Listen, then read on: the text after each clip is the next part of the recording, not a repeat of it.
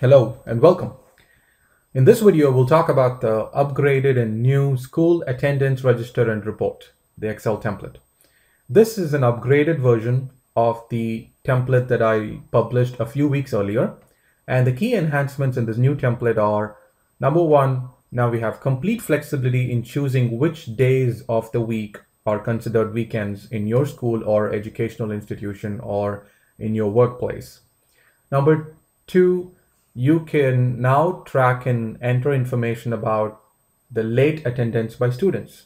In the earlier version of the template, you could only enter whether the student was present or absent on any given day. In this new template, you have the flexibility to um, enter whether the student was present on time or present late. And that also is, is included in the calculations that we do to create the report. Now, in just to do a quick recap of the purpose of this um, template, this template can be used as an attendance register tool and um, the tool automates creation of the class attendance reports and then the student attendance reports, which could be printed and handed over to the students and also used by the teachers to understand which students have um, some issues with attendance. And this can be used in schools, educational institutions, and also in workplaces where you want to track attendance and create reports out of it. And this template is available for you to download for free from indzara.blogspot.com. And when you go to this blog post, which details um, about this specific template and how to use the template, you will find that there are two documents for you to download. The first one is the actual template. That's what you would use um, to create these attendance registrant reports for your scenarios. But there's also another document, which is basically the Excel template filled with some sample data. Um, this is just to illustrate how the template functions and also how the reports look like. In this video, we'll start with looking over the sample data to illustrate the features and functions of this template. This is our Excel template with the sample data filled in. So at the top, you have the school information where I've entered the name, address, and then the slogan for the school, and then some information about the class, name of the class, and then the teacher name. And then we have the academic year that you would fill in, and then the begin date and the end date. So these are the dates during which your your your academic year exists, and so this is where you would like to monitor and track the attendance of your students or employees. And then we have the minimum required attendance rate. So this is um, important for the calculations in this template. Uh, if the student student's attendance rate is below this, then we consider that to be um, a failure. If the student's attendance rate is at least 80%, for example, in this case, then the student is considered to have passed based on the attendance. And then we have this table here where you can set your own weekends. So this is where we have made the changes to this version of the template where there is a lot more flexibility. So for example here, in the sample data, I've chosen all the Sundays to be weekends or holidays, so they're not working days. And then the second Saturday of every month is also not a working day. So this will be taken into account by the template when it calculates the working days and so this is where you could choose if, for example, in, in your scenario, if you have second and fourth Saturdays to be um, non-working days, so this is where you go and say yes. So that automatically um, updates the template as necessary. So then we will go into the last section here, which is about holidays. So this is where you would enter any school holidays you may have um, for example, you know, in this sample data, I've entered Children's Day, New Year's Day, and Tamil New Year's Day, um, and then entered the actual date.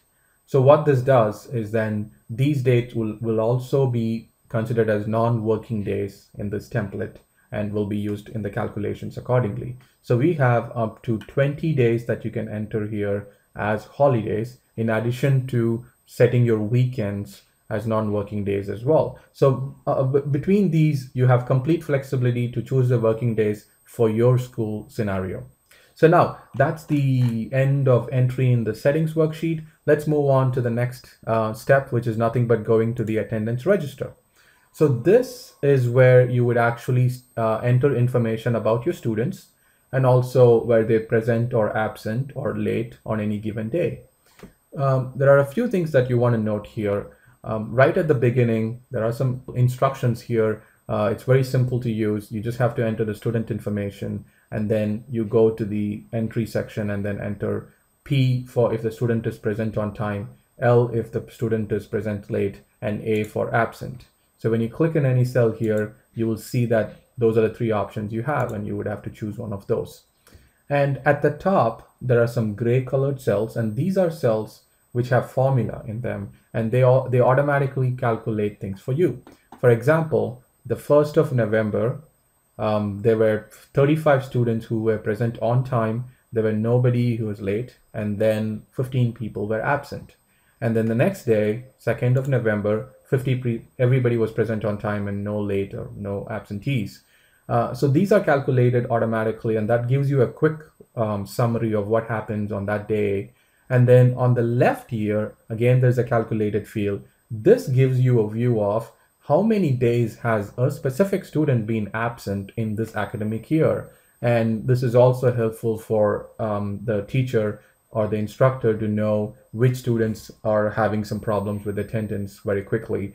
Now our work is done in terms of entry. Now it's time to look at the reports. So we can, let's get started with the class report. So go to class report. And here at the top, there's a message here that says no errors in your data. Um, and if you have some errors, some errors would pop up here. In this case, there are no errors. So that's good news. So we can use the report. And this is how the report looks like. There's nothing else for you to enter or change here. It's all re ready to go. You can just print that, print it immediately. Um, here, your school information and the class information are at the top. And then here is a summary. How many students were in the class? How many working days in the academic year? And what is the overall attendance rate, average attendance rate? And then how many students are not meeting the attendance requirements? So this is based on the minimum attendance required that you had set in the settings worksheet. And when you scroll down, you will see the class attendance rates by month and also the number of working days by month and also overall. And when you scroll further down, you will see individual student and each student's attendance rate every month. And you would see that some students' records are highlighted in red font, and that is nothing but these students' overall attendance rate is below the attendance rate that we require. And for example, here we, we said that there are nine students who did not meet the attendance requirements. You can easily find out who those nine students are by just glancing at this doc, um, glancing at the table below with um, this, those specific nine students records highlighted in red font. That's pretty much it. At the bottom, you have your um, principal and class teacher signatures placeholders. So you can print this document and then, you know, you can have the signatures and date it and then hand it, hand it over to the principal or the teacher. And now we go to the last step. After we have seen the class attendance report, let's go to the student attendance report. So in this student attendance report, it works very similarly to the class report, except that you could choose, you would have to choose the student for whom you want to have the report for. So in this case, I would go to this drop down menu and choose a specific student. And let's say I chose student one and immediately this report gets populated with information about that one specific student. And uh, in this case, for the student has passed the requirements because he got a 92% attendance rate um, and he was absent for 14 days in this academic year.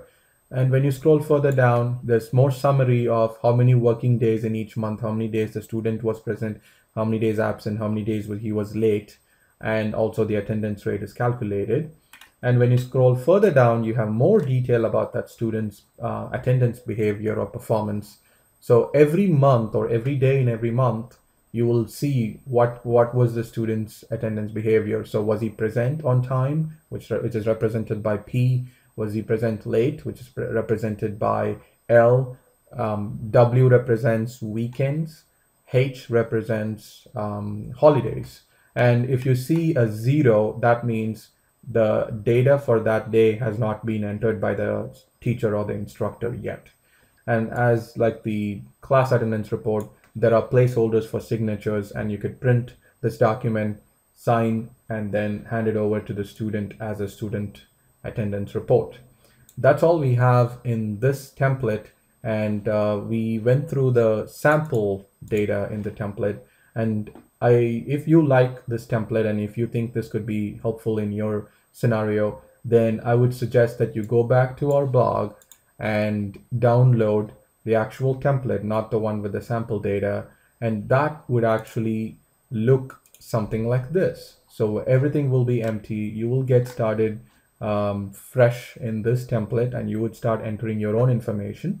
And as soon as you start entering information in the settings and then also in the attendance register, automatically the class attendance report and the student attendance report will be populated and then you could print them and then use them.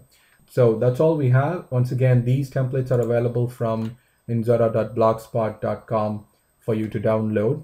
And if you have any questions about this template, or if your scenario needs some tweaks or changes to this um, template, please let me know and uh, please provide your feedback um, uh, at indzara.blogspot.com. And also, if you like this template, please uh, take a look at some of my other templates over here. And um, also, if you have any ideas or suggestions for other templates, please um, send me an email or you know drop a comment on my blog. I look forward to hearing your feedback and um, thanks for watching this video.